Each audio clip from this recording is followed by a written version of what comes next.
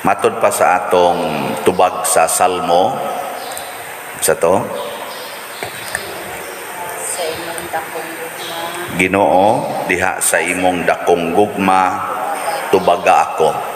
Usa kini ka pakiluoy og usa sad ni kapag-ila nga ang Ginoo dili gyud mo pakyas nato sa atong pangayoon kay nahigugma man siya nato Motuo ba mo ani? Mutuo mo nga dili gid ta pakyason sa Ginoo sa atong pangayoon tungod kay nahigugma siya nato. Tuo mo dili. totoo, Hinay man inyong tingog. Muramog na nagana no. Aw, papuri papariha ta. Kay ug atong tan-awon si propeta Jeremias kay mao man iyang giampo sa Ginoo sa dihan gi kalagutan na siya sa mga pari, mga propeta nga lahi niya ug sa mga katawhan. Nakaampo siya sa Ginoo nga Ginoo sa imong dakong gugma tubaga ako. Gitubagi siya sa Ginoo gipanalipdan siya ni padala og usa ka tawo nga ginganlag si kisingan ato gipanalipdan siya ni Ahikam anak ni Safan. Oh, gipanalipdan siya. Aron nga dili siya ma maunsa. So mo na no? Gipanalipdan ang atong unang pagbasa. Gipakita nga gipanalipdan si Jeremias sa iyang pagampo. Sumingon ta ah, nahigugma gid ang Ginoo. Pero si Juan nga magbubunyag diri sa atong ebanghelyo ug si Hesus sigon sa atong na kaniganing nahibaw-an miampo sad sa Ginoo nga panalipdan sila batok sa dautan nga kuhaon ang kupa sa kasakitan. Giampo sa na ni Hesus niya sa may nahitabo?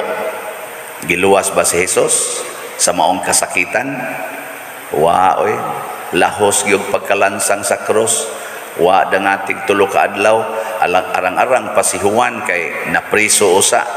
Pero lahos gyud na putlan gisliog niya pasabot ba ni? Nga ang Ginoo wa na mahigugma ni Juan nga magbubunyag. Wa na mahigugma ni Hesus kay nganong napatay man sila? Nagpas mo ba nay meaning saman ah, di mo to ako pertisan na akong ampo sa Ginoo nga kadtong akong amahan nga na paralyze maayo wa man maayo namatay man gyud human sa unom ka tuig. Ang akong maguwa nga paralyzed perti man sad na akong ampo siya sad perti sang ampo nga maulian. Ah 30 na lang ka tuig ang milabay hangtod karon wa man mauli. Ah, buutan man ta kay na mas buutan pa magitingali na aning nagwali. Ang zaman pasabot ani nga wa na mahigugma ang Ginoo. So magbantay ta ha kay sahay ra ba? Preani karon ampo ta nga mahunong na ning virus. Wa man sige mangyapon ang gubat sa Ukraine ug sa Russia sige man lang gyapon pila nakabuk galuhod-luhod og ampo para ana. I-consecrate mangani sa Santo Papa ang Russia. Pero gubat man hinuon Ah, di ba? Nyat pasabot ba na nga wa na wa na maminaw nato ang Ginoo kay wa na siya mahigugma nato. Ang sure gyud natong tubag dili pa dire nahigugma gyud ang Ginoo nato. Bitaw tinuod gyud na. Pero unsaon man nato pag hatag og tinuod nga kaning kahulugan kining maong tubag sa salmo base sa realidad nga atong nasinati.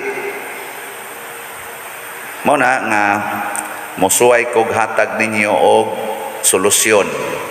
Kini di ang gugmas Ginoo nakasintro sa atong kalag wa makasintro sa atong lawas. Mao ginay timan eh. Ang kalag mo'y gihigugmas Ginoo. Sikandari ra ang lawas. Kay matod pa ni Kristo ayaw mo kahadlok ni adtong mo patay sa inyong lawas pero dili makadaot sa inyong kalag. Kahadloki katong makapatay gyud sa inyong kalag. Amo na pinaka sentro nya unsaon man paghigugmas Ginoo ang atong kalag kung muampo ta niya nga ligunon ta or luwason ta ang unang buhaton sa Ginoo luwason ta niya gikan sa sala iya tang hatagan og kaligon og Diyos nun nga kaisog nga di na ta mahadlok sa kasakit og sa kamatayon. Og mo na nahitabo ni propeta Jeremias, mo sa na ni Juan nga magbubunyag og nahitabo ni Jesus, nahitabo sa atong mga martyrs. Ang unang nawa nila ang kahadlok sa kasakit og sa kamatayon. Mo na si Jeremias diri sa unang pagbasa ingon siya sige buhatan ninyo ang inyong gustong buhaton ako. Pero hibalo eh wa gid siya mohunog istorya ba? Hibalo eh dako kay nang saha si Juan sad nga magbubunyag gasigi sag ingon nga Ginoo aw sana Herodes sayop ginang imong gibuhat nga imong gipangasawa ang asawa sa imong igsuon. Mura ba gikabit ba? Ang asawa siyang igsuon. Kamo musugot mo? Kamong mga mga diadinhi na ang imong ang bana o kaha ang asawa sa imong igsuon imo sang kabiton? Sugot mo na portingil araw eh. no di sala. Ah giputlan siya sa liog si Jesus pod sige sa ingon sala na nga ang templo sa Ginoo. Inyo nang gihimong negosyo. Na sige na mo diha og kana na ang negosyo diha sa templo. Kwarta na ang inyong gihunahuna. Dako nang sala. Ah tuan na sad gipatay na sa sisos pero nahadlok ba? Wa. Day karon. Lingi ako no na imong tupad. Ing na hadlok pa kang hadlok ka sa kasakit o sa kamatayon? Gi no? Pangutan na ing nahadlok ka sa kasakit o sa kamatayon. So, kung nahadlok pa ganina, pasabot, wa pa na siya tagais ginoo o grasya. Kay nga naman, wa na siya magampo sa ginoo para sa iyang kalag. Nagampo ra na para sa lawas. Kasagaran na to, ang atong pagampo na argid sa level sa lawas. Lawas nun ba? Pwede sa na nato tawgon og tawhanon nga concern kalibutanon na concern mo nang maglisod ta og abot sa naabtan sa mga santos sama ni Venerable Chopilo Kamumot nga wa nay kabalaka sa mga kasakit og sakit og kamatayon relax na kaayo nga naman kay ang iyang pagampo nakasentro sa kalag ug mausad ni ang atong misyon ang atong pagampo o ang atong mga buhat nakasintro sa kalag. Kana bang mangut, makapangutana ta matagbuhat nato makaayo ba kanis akong kalag no? Kining pagsige na kog duwa aning cellphone, siging tan-aw aning cellphone hangtod kaadlawon, maka ayo ba kanis akong kalag? Ana, kining akong pag TikTok TikTok, makaayo ba kanis akong kalag? Ana ba kana mo na mga pangutana? kining akong pagtrabaho nga mi abroad gyud ko gibiyaan ako akong pamilya napakoy gagmayng mga anak makaayo ba kanis akong kalag kining akong pagpuyo-puyo bisan way kasal tungod lang kay foreigner akong nabana nga di sad katoliko unya na save man sad ang akong kaugalingon kay daghan mang kwarta nakatukod na kog balay nakapalit nagsakyanan sagdi na lagway kasal love man sad nako siya. Ah inana ba? Sagdi lagway kasal. Ana musabot ra si Lord kay na secured man ang akong lawas. Pangutan na ako no? Maka, makaayo ba ka na sa imong kalag ana kining akong pagpa color sa akong buhok, kaning kiskis sa akong kilay, kaning akong pagpaputi sa akong naong, makaayo ba kanis akong kalag? Ngayon na ba? Kining akong pagpangutang, o kaha kining akong pagpaningil og utang, makaayo ba kanis akong kalag? mga inanagod nga question nindot na mangayo kas Ginoo og lamdag Lord lamdagi ko tudloi ko kining akong pag-uyab-uyab nga magsige mig pasok ngadto sa mga hagunoyan ngadto sa kasagingan adto sa mga payag nga guba lukluk bigadto makaayo ba kanis akong Hindi ka nang ako, istorya-istorya raman ni, pero wa man sa tingali mo buhat ana. Eh. Istorya raman na. Pero wa say siguro, ana ana mga kakugnan, ana. Makaayo ba kanis akong kalang? Nako nangutanam sa ko kining pagpamaligyag slat, makaayo ba kanis akong kalang? Makaayo dili. Ayo. Nya kanasang pagpalit og slat, makaayo ba sa kanas atong kalang? Ayo. o napakanindutan ninyong mutubag. Congratulations! Makaayo gina perting lipaya sa DST community oy, sa Daughters of St. Teresa pag Thanksgiving kay malampuson kayo. Unya, daghan pag yung namalit as of yesterday ato naman ang gihunong yesterday nya ato lang ning i-report karon nya final report ugma. As of yesterday ang total na nga halin ni abot na og 7,184 slots. Oh, pagka anani sobra na. Og 7,000 atong target 7,000 niabot na karon og 7,184 ang nahalin dinhi sa atong parokya niabot og 6,066 slots nya ang didto sa mga madre dako-dako sila halin atong pagka Thanksgiving niabot na ang ilang halin dito og 1,118 slots. Oh, di ba? Daghan ang namalit. Nga naman, sa imong paggamit sa kwarta para sa simbahan, ang imong kalag nakabinipisyo, nakadawat og grasya. Pero kung ang imong kwarta gigamit lang nimo sa imong lawas ug ang imong concern para ra gyud sa imong lawas pastilan luoy kay kaana gahapon lang dinhi ni nga nawad-an pananaw nagpadag nida nagpaagak gyud sa iyang anak kay pagkadungog niya sa announcement nako gahapon nga hunong natag baligya karon in sa sus di kita kaabot ani. Mangadto kita. So niabot ka sila diri pagkahapon. Salamat in taon pa dir makaapil pag palit. Nako basta no? Nya dag daghan ring namalit gahapon. Kay uh, last last day na ba?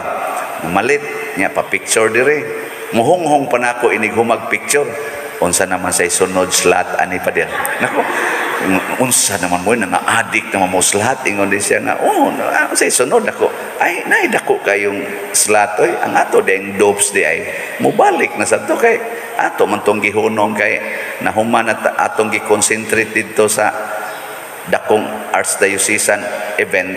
Ah, karon balik na sa tas atong dopes. Kay mao ni ang kinadak-an atong ibaligya mm, ako niya nang i-announce basin og mapuhon. Ay murag na ay gamayng adjustment sa atong dopes kay mm, dako mga atong project. Wa man mo gamay. Mao may nidako naman hinuon. Ah oh, manang wa ta di ta mahadlok.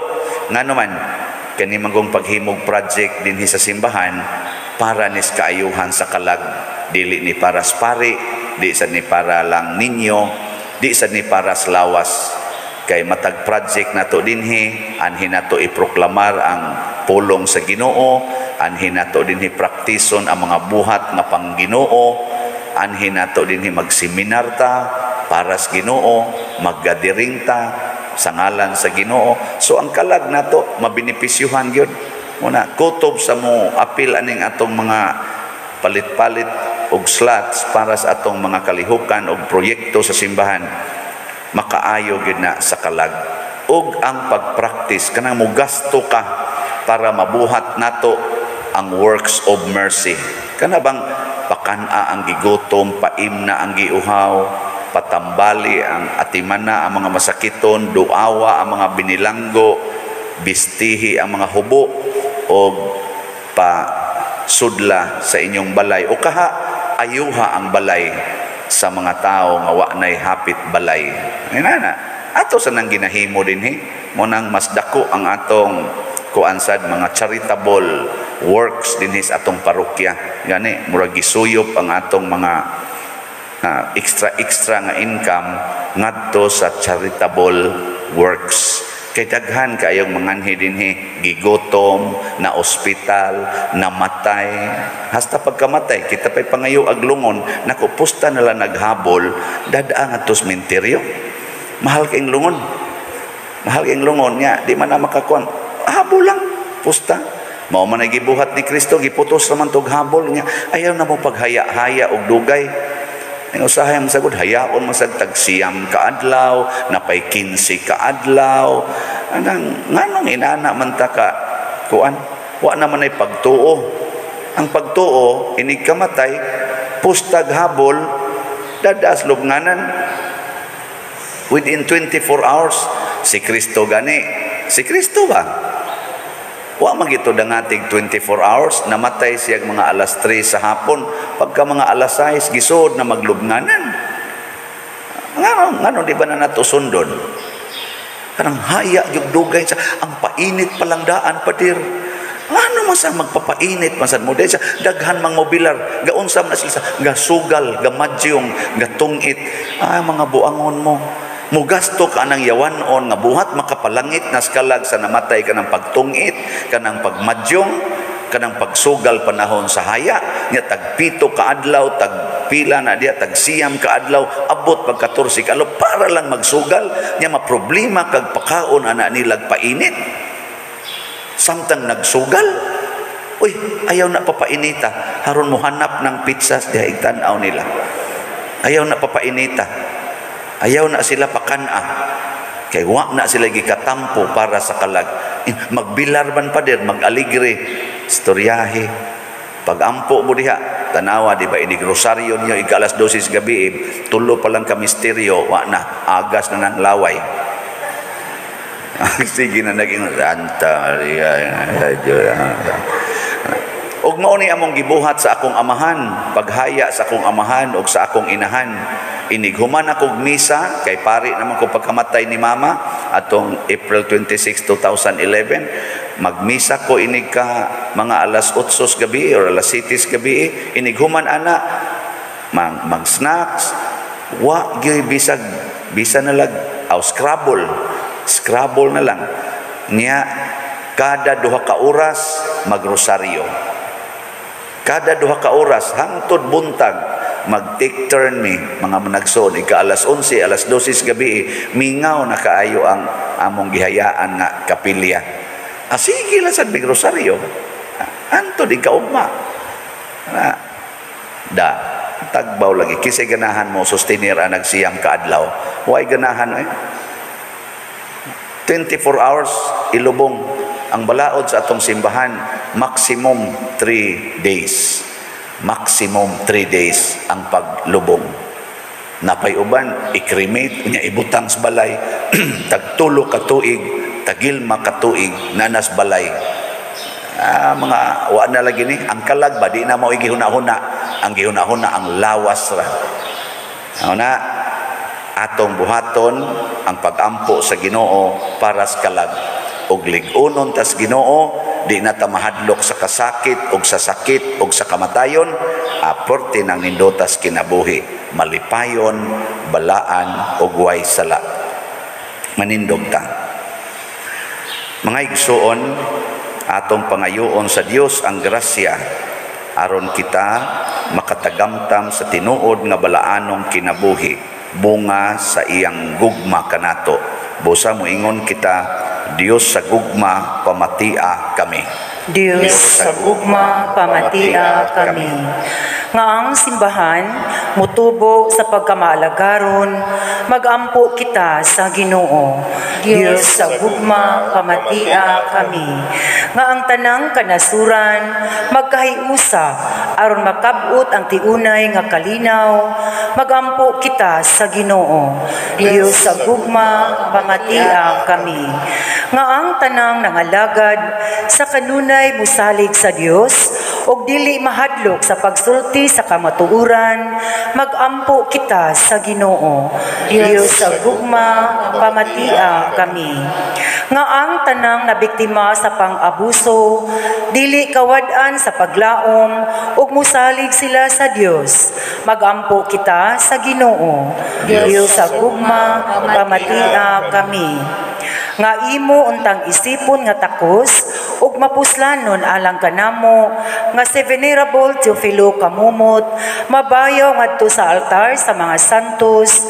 Magampo kita sa Ginoo. Diyos. Dios sa gugma pamatia kami alang sa mga proyekto dinhi sa atong simbahan nga pinaagi sa pangama ug pagiya ni San Vicente Ferrer magmalangpuson ug mahamanunta sumala sa atong mga giplano ug gipangandoy magampo kita sa Ginoo. Dios sa gugma pamatia kami. Alang sa tanang mga benefactors ug donors sa atong simbahan nga mihatag og finansyal ug lain-laing hinabang ug alang sa mga nagtrabaho dinhi sa atong mga proyekto. Nga hatagan unta sila sa Ginoo ug daghan pang mga grasya sa ilang kinabuhi. Malikay sila sa mga kadautan ug mulampos unta ang tanan nilang mga paningkamot. Magampo kita sa Ginoo. Dios sa gugma pamatia kami. Nga ang tanang nangamatay makakita na sa kamatuuran ug makadangat na sa kapahulayang dayon magampo kita sa Ginoo. Dios sa gugma pamatia kami. Among makagagahom nga Dios, tagi kami sa kinabuhi nga among gikinahanglan, pinaagi sa pamong pagpangamuyo ni ining maong kasaulugan. Pinaagi ni Kristo nga among Ginoo. Amen